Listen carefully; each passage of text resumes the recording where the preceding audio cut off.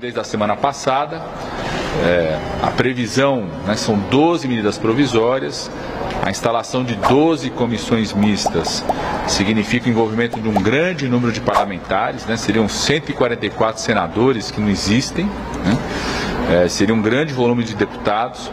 Então o governo desde o começo vem trabalhando com as lideranças tanto da base quanto da oposição da possibilidade de uma parte das medidas provisórias poderem ser transformadas em projetos de lei de urgência e emergência para serem, inclusive, emendadas nas medidas provisórias. Então, vou explicar um pouco para cada um e cada uma de vocês em relação a isso. Por exemplo, nós temos a primeira medida provisória do governo do presidente Lula, é aquela MP que recria o Ministério da Cultura, o Ministério da Igualdade Racial, o Ministério do Desenvolvimento Agrário, que fez o programa de aquisição de alimentos. Né? Então, é uma medida provisória que nós defendemos desde o começo, que se instale a comissão mista, fechamos o acordo de instalação da comissão mista no começo da próxima semana. É, na tramitação dessa medida provisória, o Congresso Nacional pode fazer, inclusive, com que outras medidas provisórias de criação de órgãos ou de remanejamento de órgãos possam ser incorporadas a essa. Né? Citar um exemplo, a extinção da FUNASA pode ser incorporada a essa enquanto emenda. Ah, o COAF sair do Banco Central para o Ministério da Fazenda pode ser incorporada a essa como emenda. Ah, o, o comitê do, do PPI pode ser incorporado a essa como emenda. Isso vai acelerar a tramitação na Câmara e no Senado eh, e não transformando né, num problema a necessidade né, de um grande volume de parlamentares para compor essas comissões mistas. É, então, por isso, nós vamos priorizar, já tínhamos discutido isso tanto com a Câmara quanto o Senado, nós vamos aprovar todos os conteúdos, então os 12, 12 MPs, vamos trabalhar para aprovação dos conteúdos de todas elas, e priorizando como instalação de comissão mista aquelas que os parlamentares querem debater, né? tem um debate maior, é, então, a recriação dos ministérios, medida provisória, já tem um acordo para a instalação da comissão mista no começo da próxima semana. A medida provisória do CARF tem um interesse grande no debate, nas comissões mistas, tanto deputados quanto senadores. O novo Bolsa Família, o novo Minha Casa Minha Vida, programa de aquisição de alimentos e mais médicos são, por exemplo, comissões mistas é, que devem estar instaladas, né, um acordo para que a gente possa instalar já no começo da próxima semana. Dentro do calendário, obviamente vamos trabalhar é, para instalar mais urgentemente aquelas que expiram até o mês de junho. Né, tanto mais novo mais médico quanto o programa de aquisição de alimentos vencem apenas em agosto, mas vamos instalar ainda no mês de abril. É, algumas medidas provisórias elas podem ser vão ser projetos de lei de urgência e podem ser emendas a medidas provisórias originais. Um exemplo, o novo auxílio gás pode ser uma emenda, por exemplo, da medida provisória do novo Bolsa Família. Tratam do mesmo tema, são programas estão sendo criados e é possível você fazer esse instrumento. Isso vai garantir a, a gente poder manter a, a, votação, funcionar as comissões mistas ao mesmo tempo, né, pelo número de parlamentares que envolve, e manter o calendário prioritário para o governo também de votação, que é do novo marco fiscal, que o debate está indo muito bem, recepção muito positiva dentro do Congresso Nacional e acreditamos que na pós-Semana Santa já tem a definição do relator pela Câmara, que a gente possa iniciar toda a tramitação dentro do Congresso Nacional do novo marco fiscal. Além disso, nós estamos em tratativa com o presidente do Congresso para que no mês de abril a gente tenha a primeira sessão do Congresso. Nessa primeira sessão do Congresso, o tema prioritário do governo é a avaliação e aprovação do projeto de lei de remanejamento orçamentário que garante o reajuste dos servidores, que é uma conquista muito importante. Nós conseguimos fechar um acordo com todas as categorias de servidores federais, um reajuste de mais de 9%, depois de anos que os servidores não tiveram qualquer tipo de acordo, um acordo muito bem construído no diálogo, né? todo o cenário que pintaram, né, mais uma fake news em relação ao governo do presidente Lula, que dizia que o presidente Lula ia fechar a igreja, que ia voltar a ter greve o tempo todo, que não conseguia fechar acordo com os servidores federais sem greves. Nós estamos conseguindo fechar, fechamos um acordo com os servidores federais no diálogo, uma conquista importante para os servidores federais e é um objeto de um projeto de um PLN de remanejamento orçamentário, deve ser votado em abril na primeira sessão do Congresso. Além disso, a primeira sessão do Congresso deve analisar vetos dos projetos de lei ainda do governo anterior. Então, o foco da primeira sessão do Congresso deve ser também a votação desses vetos. Quando essa, essas comissões são 12, seriam necessárias 12. O senhor está trabalhando com quantas? Nós estamos trabalhando com todas, no diálogo com a Câmara e com o Senado, Todas as 12 MPs são importantes, são prioritárias e vamos trabalhar para aprovar o conteúdo das 12 MPs. Ao remanejar algumas dessas MPs como emendas de MPs originárias, é possível reduzir esse número, contando das 12, em torno de 6, 7 comissões mistas a serem instaladas. Já fechamos um acordo de já instalar na próxima semana quatro comissões mistas que são as mais é, urgentes, não só em relação ao calendário, mas também tem toda a vontade de um debate. Quando você monta a comissão mista, os deputados, senadores que participam debatem, que é a comissão mista da recriação do Ministério da Cultura, da Igualdade Racial, do Ministério do Desenvolvimento Agrário, dos órgãos do governo, é, tem um conjunto de MPs que tratam de criação de órgãos que podem ser tramitadas pelo Congresso Nacional como emendas a essa MP original de criação dos órgãos.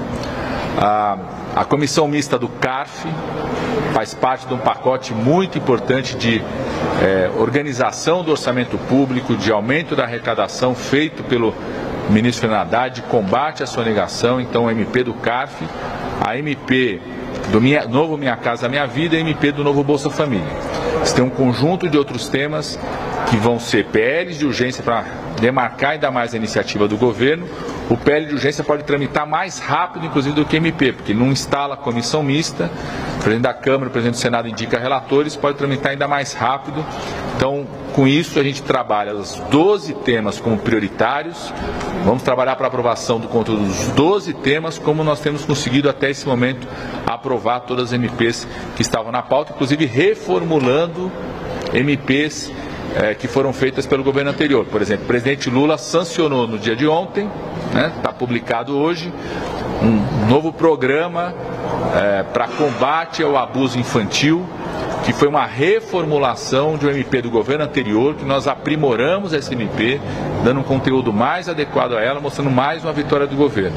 É, sancionou outros projetos de lei que já foram MPs que foram votados ou projetos de lei votados no mês de março, que é foi o mês de conquista de direitos para as mulheres. Sim, ministro Costa, exatamente aqui nesse púlpito, ele acabou fazendo uma fala contrária do senhor, falando assim que a ideia não era essa, né, de, das MPs serem aprovadas por lei complementar, e que seguiria aí o rito. O que, que mudou de ontem? Oh, oh, não, não, nada mudou, e eu acho que é muito importante, na sua própria pergunta também você se confundiu. Então, então não tem lei complementar, não tem nada disso, né?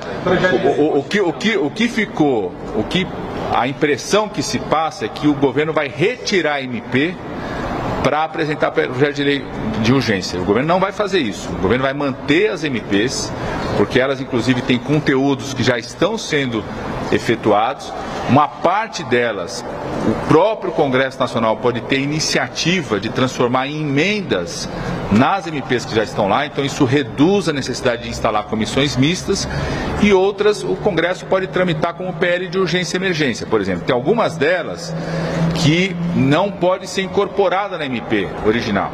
Então, o Congresso tramita isso como PL de urgência e emergência, de iniciativa do governo, certo? Então, é, passou a ideia na pergunta de que o governo ia retirar MPs. O governo vai não só manter as MPs, como vai aprovar, trabalhar para aprovar o conteúdo do, das 12 MPs que estão lá. São temas, os 12 temas são importantes, vamos trabalhar para aprovar todos eles da melhor forma possível. Alguns deles a gente aprova mais rápido, transformando em emenda ao MP que já está lá, Outros a gente aprova mais rápido, encaminhando com PL de urgência e emergência, que pode ser votado, inclusive, antes da tramitação na comissão mista da medida provisória. Pelo que eu entendi, então, a única coisa que está combinada é que tem das 12 MPs, quatro já vão ser instaladas em comissão mista, podem ter no máximo sete comissões mistas. As que vão virar emendas e as que vão virar PLs com urgência ainda não estão decididas, vai ser na negociação com a Câmara. É isso? Que está combinado e tem compromisso tanto da Câmara quanto do Senado é de aprovarmos o conteúdo do, das 12 medidas provisórias que estão lá. Algumas delas nós vamos instalar comissões mistas, já acordamos a instalação imediata de quatro comissões mistas, exatamente porque são MPs que vencem até o final de junho é, que tem o interesse de parlamentares, senadores, de debaterem esse tema. Então, quando você cria a comissão mista, você amplia a possibilidade de debate, mais parlamentares participam desse debate. E nessa tramitação, algumas MPs, como é, o comitê do PPI, como a extinção da FUNASA, né, podem ser transformadas em emendas às MPs, por exemplo, de criação, a MP de criação de órgãos, né? tanto a que estabelece transferência do COAF, do Banco Central para o Ministério da Fazenda, a extinção da FUNASA, quanto a criação dos comitês do, do PPI, isso aí pode ser emendas à medida provisória de criação de órgãos. A MP que cria o auxílio gás pode ser uma emenda à medida provisória do Bolsa Família. Então nós já acertamos a instalação imediata, no começo da próxima semana, de quatro comissões mistas das MPs que vencem até o mês de junho. Nós temos ainda tanto a medida provisória do Programa de Aquisição de Alimentos quanto do Mais Médicos, que só vence em agosto, mas nós queremos instalar também essas comissões mistas ainda já no mês de abril, porque permite, inclusive, um maior debate para os, os congressistas. A MP do CAF também tem um interesse muito grande, tanto da Câmara quanto do Senado, em poder fazer esse debate, por isso também fechamos um acordo de instalar já na próxima semana. Então, na próxima semana devemos ter instalação né, da medida da, da comissão mista, é, da MP de criação dos ministérios, da MP do CARF, do novo Bolsa Família e do novo Minha Casa Minha Vida. Ministro, já foram instaladas as quatro, então já há acordo para quatro comissões mistas. Não, há acordo, há acordo para instalação de comissões mistas, de tudo aquilo que significa novos programas do governo, ou reestruturação dos órgãos, porque os deputados querem debater. Você tem outras MPs que são desonerações de impostos, inclusive uma já venceu a outra. Você tem MP que tem a ver com os impostos, é, que os próprios parlamentares falam o seguinte, ó, isso aqui a gente pode tramitar mais rápido ainda com pele de urgência, não é um tema que vai gerar tanto debate. Né? Então, há acordo, primeiro, há acordo e compromisso de aprovarmos o conteúdo dos, das 12 MPs. Há acordo e compromisso de tudo aquilo que significa novos programas do governo do presidente Lula, o interesse de instalar a MP exatamente para ampliar o debate, permitir que outros parlamentares possam debater. É, é aquilo que puder ser transformado como emenda a outra MP, nós faremos para tramitar mais rapidamente e permitir que, se, que os 12 conteúdos sejam discutidos e aprovados no calendário que nós temos. Exoneração de combustível vai com PL? Exoneração dos combustíveis é PL de urgência? Pro, prova, provavelmente sim, porque ele não pode ser emendado nenhuma outra MP, é um tema que tem um grande consenso de debate lá na casa, a gente vai poder tramitar mais rapidamente com PL de urgência. Ele tem duas MPs que tratam desse tema dos combustíveis, uma já venceu a outra, inclusive, porque foi um MP que alterou a primeira. Então, é um tema que rapidamente pode ser tratado e é um, um tema que não gera tanto interesse e discussão por parte dos parlamentares, a gente vai poder acelerar isso. Porque vocês têm que mandar o PL. Mas tem um acordo para depois dessa, governo vai fazer, vai sem não, imagina. Tanto é que tem outras MPs, é um instrumento constitucional. O governo vai continuar utilizando tanto o instrumento de MP quanto de PL de urgência e emergência. Por exemplo, o presidente Lula fez um grande ato aqui no começo de março, encaminhou ao Congresso Nacional três projetos de lei em regime de urgência. Toda vez que nós pudermos encaminhar projetos de lei em regime de urgência, nós vamos optar por isso. Isso é uma tradição do, do presidente Lula já nos governos anteriores. Eu fui ministro das Relações Institucionais em outros momentos, exatamente porque é, isso tramita mais facilmente pe pelo Congresso, é mais fácil a sua tramitação.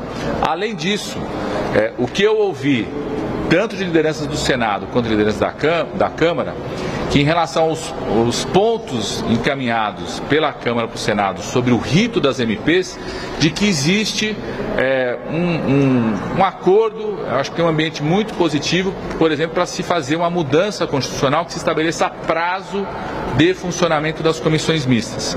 Isso foi muito bem recebido no Senado apontado pela Câmara, que de fato é importante que as comissões mistas tenham um prazo para entregar seu relatório para ir para o plenário.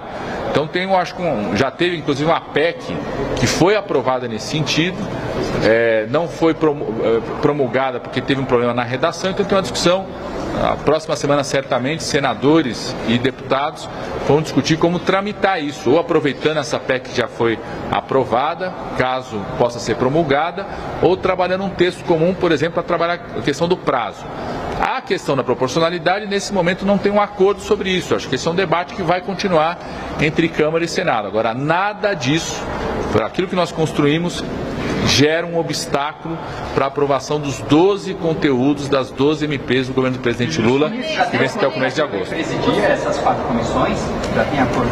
Ainda não, é, vai ter um, uma rotatividade né, entre Câmara e Senado, tanto na presidência quanto na relatoria. Devemos fechar aí ao longo da semana, no começo da próxima semana. Né? Essa semana a Câmara dos Deputados está sem pauta, sem agenda, né? fez um grande esforço concentrado. Quero agradecer o esforço concentrado que a Câmara dos Deputados fez na semana passada, né? um conjunto de medidas provisórias do governo anterior ainda, vai para o Senado, um ambiente muito positivo no Senado. Conversei ontem com o presidente do Senado, um esforço concentrado dos senadores e senadoras nessa semana, inclusive de forma híbrida, para poder aprovar o conjunto de MPs que estão na pauta do Senado. Acho que nós vamos ter uma tramitação é, dessas MPs no Senado também, o que faz, né, passar a Semana Santa, que a gente possa se dedicar a duas questões centrais: a aprovação dos 12 conteúdos das MPs do governo do presidente Lula até o final de junho e a aprovação do novo marco fiscal. Né?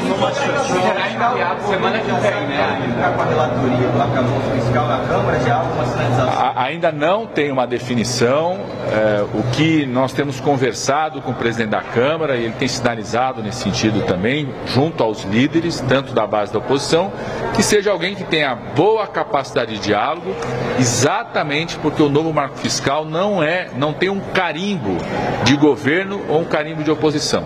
Então, acredito que possa ter um relator que expresse exatamente isso. Alguém que sinalize claramente que o novo marco fiscal vai ser debatido de forma muito tranquila, é, com muito diálogo entre os partidos, 17 partidos que já compõem o governo de alguma forma, como os partidos que se declaram de oposição, mas tem sinalizado muita disposição em discutir e votar o mais rápido possível o novo marco fiscal. Qual a previsão, ministro, do seu trabalho? É o senhor falou que era prioridade o marco fiscal, vai ser prioridade, mas vai ser enviado só depois da Páscoa, e junto às instalações das comissões mistas, tudo ao mesmo tempo.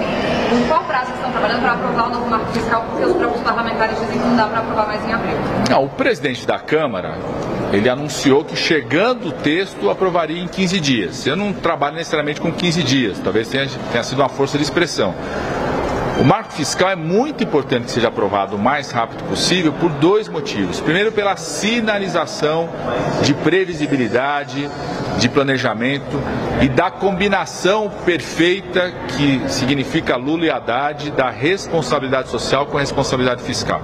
Aprovarmos, só o fato de termos apresentado já criou um ambiente muito positivo, está sendo muito bem recebido o novo marco fiscal e ao aprovarmos, tanto na Câmara como no Senado, pode ser uma sinalização muito positiva para quem quer investir no país. O presidente Lula vai ter uma agenda internacional bastante intensa, continuar sua agenda internacional intensa, está indo para a China, é, vai para Portugal e Espanha, vai para o Japão, ou seja, tem uma agenda intensa, vai, em Portugal, em Portugal vai encontrar também parceiros espanhóis, vai para o Japão na reunião do G7, então toda essa ação internacional de que o Brasil volta para, eu chamo da Copa do Mundo da política internacional, da política externa, muito intensa, aprovarmos o marco fiscal, reforça esse ambiente seguro de investimento no país.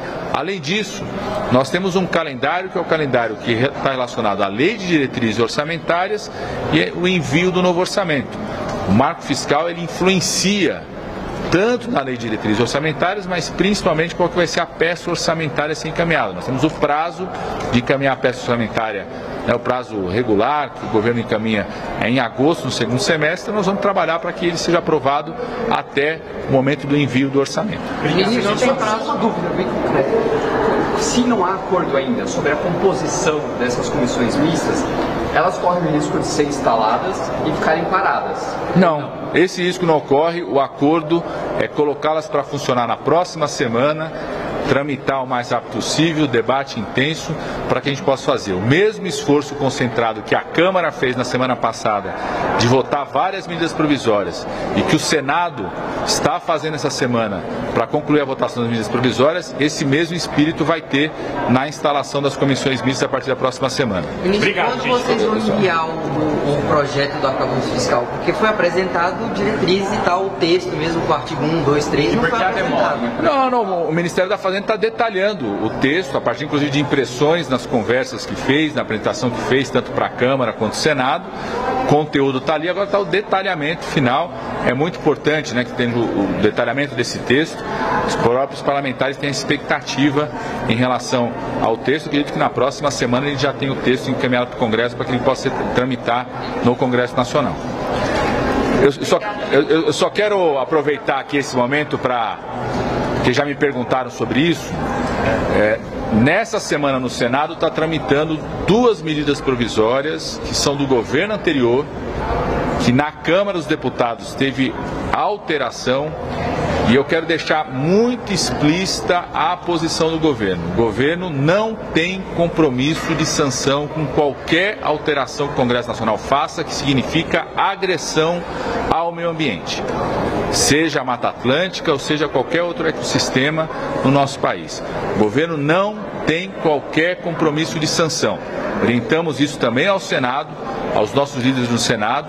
Vamos trabalhar para que agressões ao meio ambiente sejam, não, sejam aprovadas no Senado Federal. O governo não tem qualquer tipo de compromisso de sanção com agressões ao meio ambiente. Para o governo do presidente Lula, o meio ambiente é um ativo, não um obstáculo para o desenvolvimento.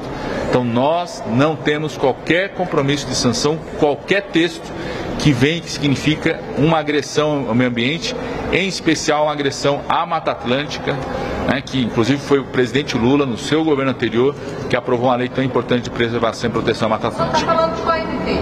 Da, das MPs, é a 1150, 1151. Mas o governo votou, votou junto. Não, não, o governo deixou muito explícito, o governo deixou muito explícito, o líder do governo deixou muito explícito, o próprio relator admitiu isso, deixou muito explícito conta da tramitação que estava na Câmara, que não existe qualquer compromisso de sanção, qualquer agressão ao meio ambiente. Vamos trabalhar no Senado, junto com os ministérios do meio ambiente, né, quem coordena a posição do governo em relação ao mérito, para que qualquer agressão ao meio ambiente identificada no texto possa ser retirado, senão vamos reafirmar que não existe qualquer compromisso de sanção por parte do governo a qualquer agressão que tenha no meio ambiente. Só uma dúvida em relação novamente MPs, é, as que forem transformadas em PL de urgência, o governo vai ter que reenviar nesse formato?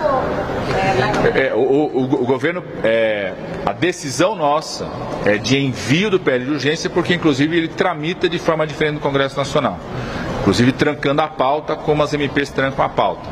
Então isso também já foi discutido e acordado com a Câmara e com o Senado, que nós temos interesse naquilo que não possa virar emenda às medidas provisórias que já estão lá, que vão tramitar na comissão mista, que a gente vai enviar o PL de urgência porque ele ajuda a trancar a pauta e tramita mais rapidamente no próprio Congresso. Teria uma opção que era a própria Câmara ou o Senado transformar esses conteúdos em projetos de lei de tramitação de urgência. Algumas delas não podem ser iniciativa do Congresso, então tem que ser iniciativa do governo. Por isso, a nossa decisão é essa, transformar em pele de urgência aquilo que for necessário, é, que não possa ser incorporado como emenda às medidas provisórias para poder tramitar mais rápido e votar mais rápido.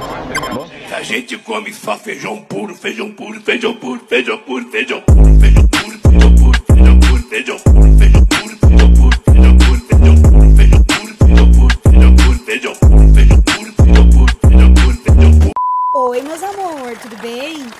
esse conteúdo sou euzinha, Thalita Cabral. Então, para você valorizar, por favor, me ajude a dar mais relevância. Deixa um like, comenta, compartilha, ajuda muito. Se inscreve no canal para eu saber que você tá curtindo e também para esse vídeo chegar em mais pessoas. Thalita Cabral, cultura, música, entretenimento e um pouquinho de política. Thalita